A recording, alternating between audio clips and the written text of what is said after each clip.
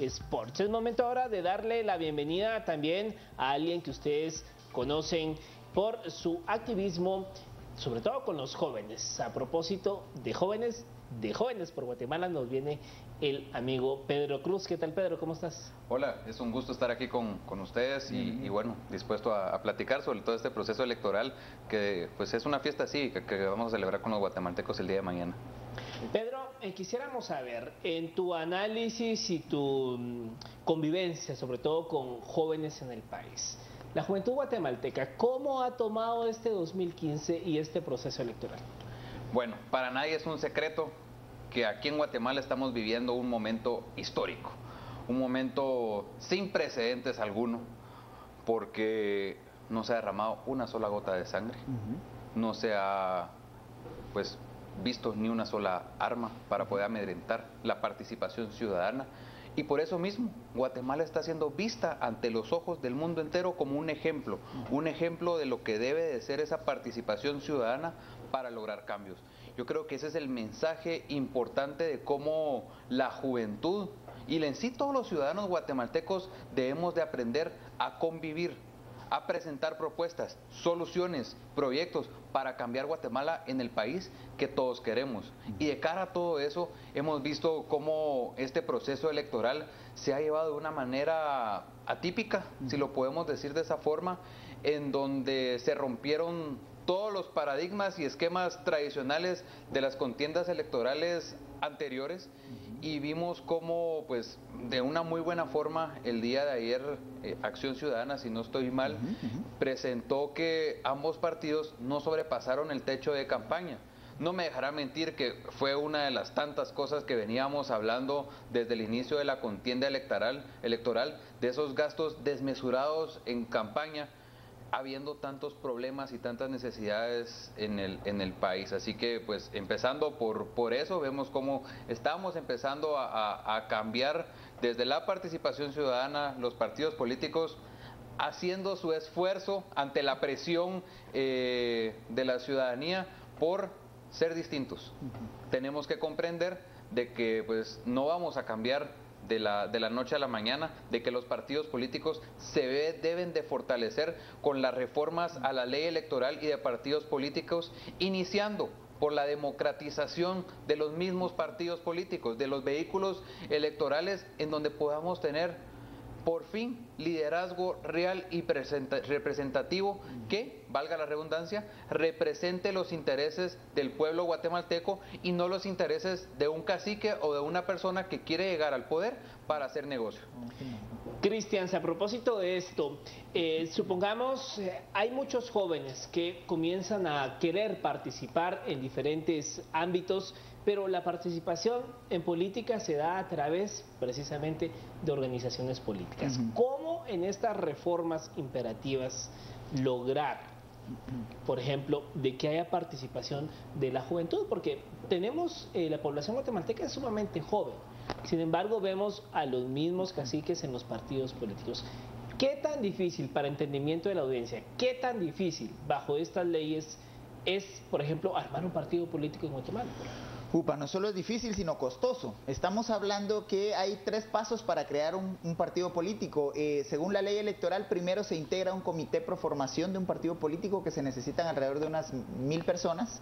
Posterior a eso se pasa a la etapa de la aprobación del comité pro formación e integrar eh, eh, ya la aprobación para la, recolección de firmas. Eso son dos años y se, necesita recuperar alrededor de unas 25 mil firmas.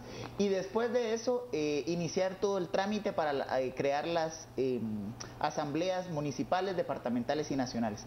Una asamblea eh, municipal puede andar rondando ahora a precios del 2015 entre 4.500 y 7.000 quetzales, una departamental alrededor de unos 12.000, 15.000 quetzales. Y una nacional, dependiendo del partido y la forma en que hacen política, puede llegar a costar de 300 mil quetzales en adelante. Eh, lo que hace esta estructura, que así está pensada precisamente para evitar eh, la creación de partidos políticos representativos y partidos políticos que realmente eh, lleven ante el Estado los, los intereses de la sociedad guatemalteca, porque quien puede hacer u organizar partidos políticos son los que tienen o tienen dinero propio o tienen acceso a financiamiento que está dispuesto a invertir en algo que es efímero, porque el partido político no produce absolutamente nada más que acceso al poder en años electorales. Esto ha llevado que los jóvenes identifiquen en la, en la política y en los partidos políticos eh, solo ideas negativas. Cuando uno le pregunta a un joven, ¿qué pensás de la política? Lo primero que viene a la mente son ideas negativas. ¿Y qué pensás de los políticos? Imagínense ustedes eh, las palabras con las que se refieren a eso. Y eso ha llevado que los jóvenes no se interesen en militar en partidos políticos, mucho menos en afiliarse. En Guatemala, eh, menos del 10% del total de los empadronados del país está afiliado a algún partido político, habiendo 28 organizaciones políticas vigentes en el país. Y esto a los jóvenes no los atrae, por, el contrario les genera rechazo, y, lo, y a pesar de eso estamos viendo un gran interés de la juventud en participar. Porque hay que reconocer que quienes fueron el motor de las movilizaciones de calle entre abril y septiembre fueron los jóvenes. Esos jóvenes que son eh, posconflicto, es una generación que nace después del, del conflicto armado interno y que ya no vivió la represión y que ya no fue creada bajo la idea de no te metas a y ustedes pónganle la palabra siguiente, precisamente porque a los jóvenes de mi generación, yo creo aquí los, los jóvenes son más jóvenes, entonces eh, a mi generación lo primero que nos decían es no te metas en eso.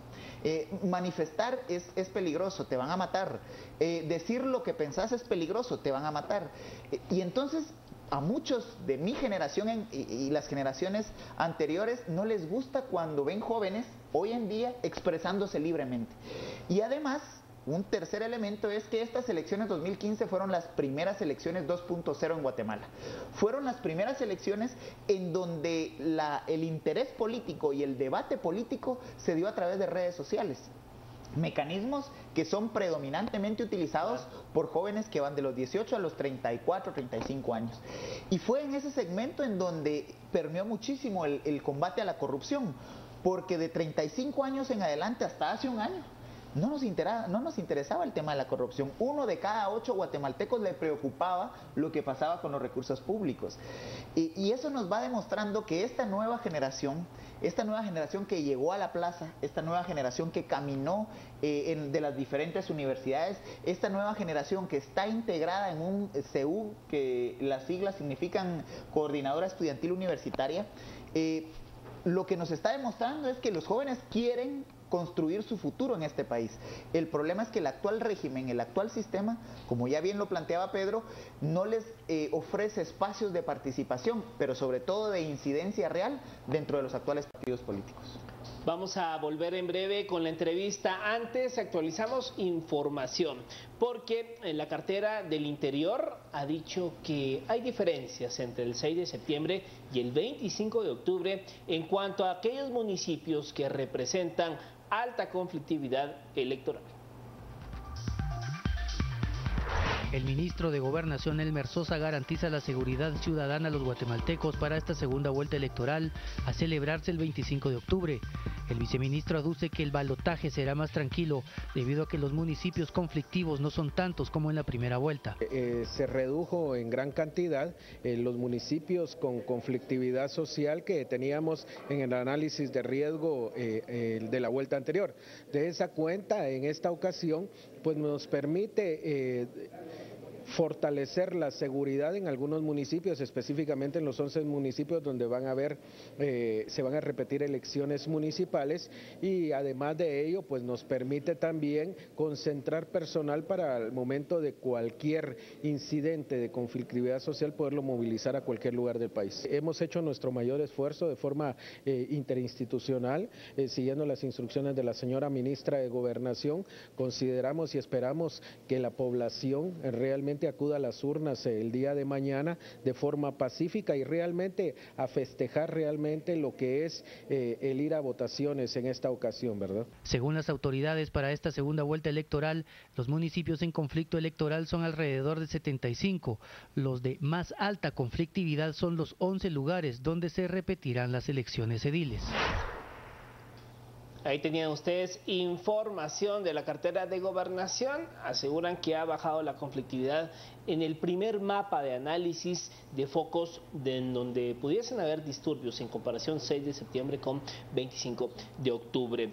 Continuando con esta entrevista, eh, Pedro, eh, este año 2015 queda ya para el análisis y para la historia estos movimientos, renuncia ya, justicia ya, todo surgido desde las redes.